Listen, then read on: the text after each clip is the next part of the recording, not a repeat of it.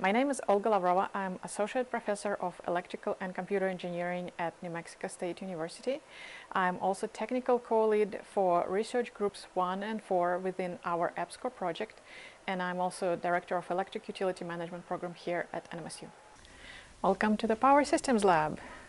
Students use this equipment as part of Power Systems class where they need to learn hands-on skills about operation of generators, motors, transformers, transmission lines, and loads. Power Systems Lab includes LabVolt Power Systems simulators, microgrid trainer, um, Schweitzer protective relays for our protective relaying class, and our own network simulator, with the support of our EPSCoR funding, we were able to purchase several uh, critical pieces of research equipment and also install them within our indoors and outdoors test lab. This equipment includes a research PV system on the rooftop of Thomas and Brown building at New Mexico State University, an Opal RT hardware in the loop simulator with additional power amplifier for that hardware in a loop simulator. We were able to purchase software licenses for professional versions of PSCAD and ETAP software and upgrade our simulation computers to powerful workstations enabling faster and parallel evaluation of our models. My name is Cindy Valdez and I'm an undergraduate electrical engineering student at NMSU working with Dr. Lavrova. This is PSCAD, which is one of the software models that we are using for our research. Having access to the Power Systems Lab has been an essential part of my degree in electrical engineering because it has allowed me to see the applied side of the topics and material which we have been covering in my classes. When you see why you were studying all these formulas, it makes you understand how microgrids work in real life. With EPSCoR funding, we are revitalizing our original Southwest Technology Development Institute into our new Ideal Center.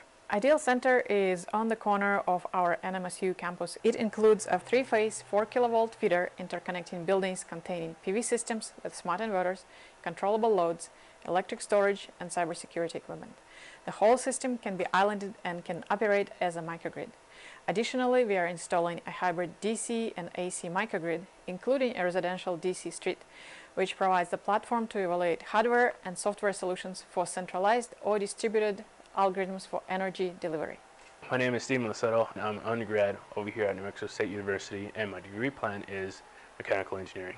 I was born and raised in Las Cruces, New Mexico, and my parents graduated from New Mexico State University.